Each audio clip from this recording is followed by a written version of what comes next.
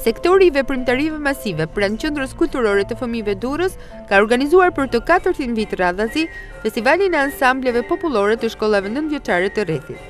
Aktiviteti ka startuar paraditen e sotme në Odeonin Nikolin Xhoja të Pallatit të Kulturës Aleksandër Moisiu. Nxënësit do të paraqiten me këngë, valle, lojëra dhe instrumente popullore të cilat do të vlerësohen nga një juri që do të përzgjedhin numrat më të mirë për fazën finale, nga ku në përfundim në datën 31 janar do të shpallen edhe fituesit. Sipas mësuesve që janë marrë me përgatitjet, interesimi dhe dëshira e fëmijëve për të qenë protagonistë të këtij festivali është e veçantë.